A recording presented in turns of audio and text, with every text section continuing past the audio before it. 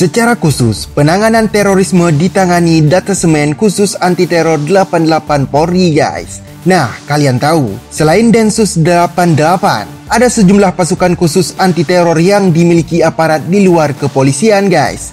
Dalam hal ini adalah TNI.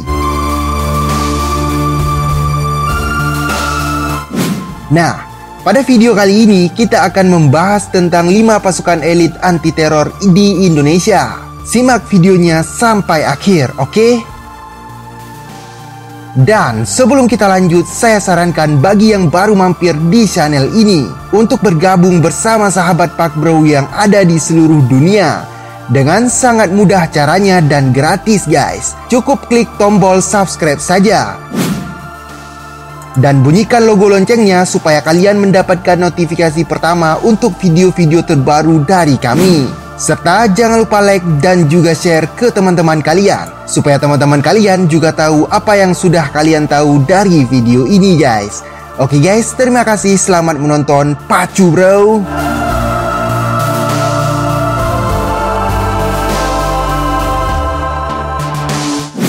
Lima pasukan elit anti teror di Indonesia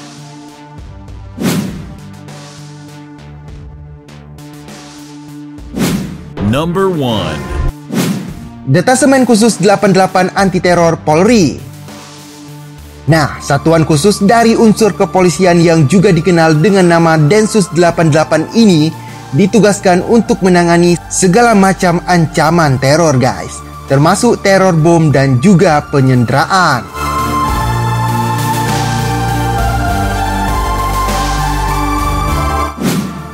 Nah, komposisi tim ini terdiri dari ahli investigasi, ahli bahan peledak sebagai penjinak bom, dan unit pemukul yang di dalamnya terdapat ahli penembak jitu guys. Nah, Densus 88 dirintis oleh Gores Mere dan diresmikan pada 26 Agustus 2004 oleh Kapolda Metro Jaya saat itu, Jenderal Polisi Firman Jani guys. Angka 88 yang disematkan berasal dari kata ATA ataupun anti terorisme ACT guys.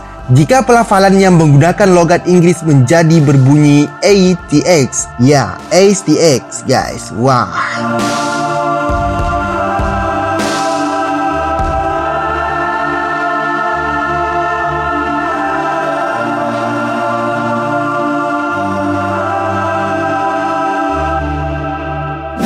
Nah, Sejumlah operasi yang pernah sukses dilakukan oleh Densus 88 di antaranya penggerebekan buronan Dr. Azhari di kota Batu Malang, Jawa Timur pada tahun 2005 silam guys. Penangkapan Yusron Mamudi alias Abu Dujana di Banyumas, Jawa Tengah. Selain itu pengepungan teroris di kampung Kepusari, Jebres Solo.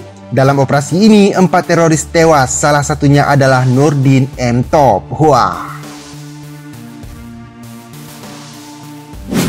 Number 2 Detasemen Khusus 81 Kopassus TNI Angkatan Darat Nah, pasukan khusus ini dikenal dengan nama SAT 81 atau dulu disebut sebagai Den 81 Gultor atau penanggulangan teror guys.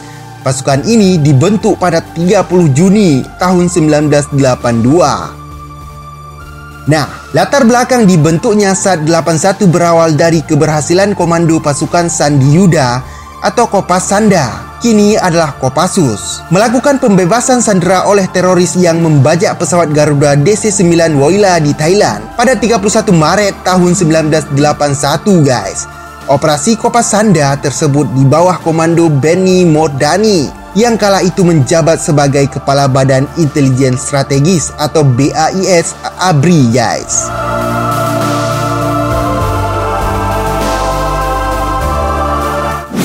Nah, komandan pertama SAT 81 adalah Luhut Binsar Panjaitan dan wakilnya adalah Prabowo Subianto kala itu. Di masa awal pembentukan SAT 81, Luhut dan Prabowo harus dikirim ke GSG 9 atau Grand Gruppe 9 Jerman untuk mempelajari upaya penanggulangan teror guys. Sekembalinya ke Indonesia, yang mana keduanya dipercaya menyeleksi dan melatih para prajurit Kopasanda yang akan ditugaskan bergabung ke SAT 81. Nah, Ciri khas dari pasukan ini adalah bergerak dalam unit kecil dengan durasi penyelesaian singkat dalam menanggulangi serangan terorisme. Sebagaimana visi dan misinya tidak diketahui, tidak terdengar, dan tidak terlihat pula. Wah, wow.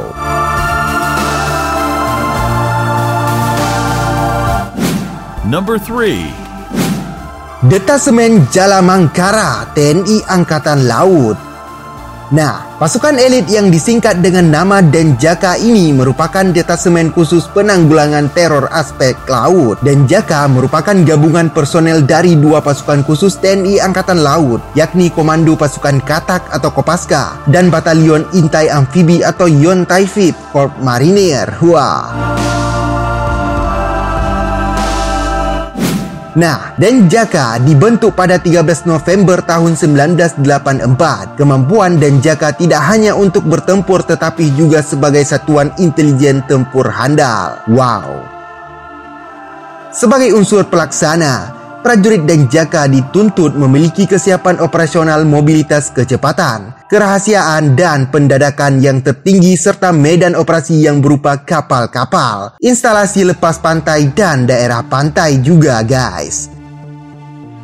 Pasukan yang dijuluki hantu laut itu juga memiliki keterampilan mendekati sasaran melalui laut vertikal dan juga udara. Wow.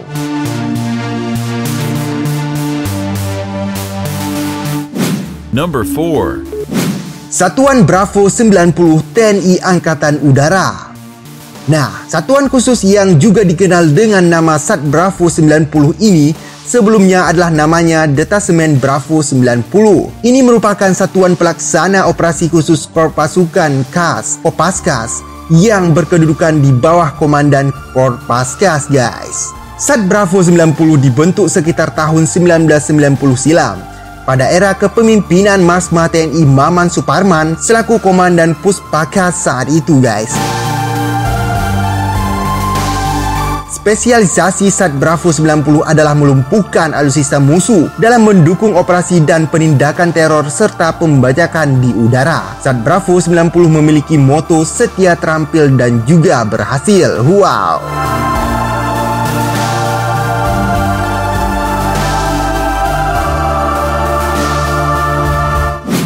Number 5. Komando Operasi Khusus Gabungan atau Kopsus Gab.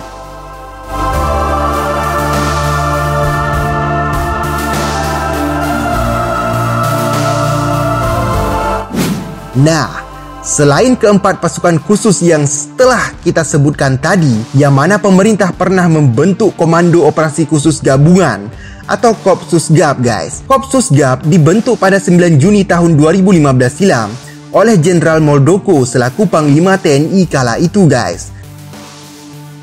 Tim ini merupakan gabungan pasukan khusus dari tiga matra TNI, yakni Sat 81 Denjaka dan juga Sat Bravo 90 guys.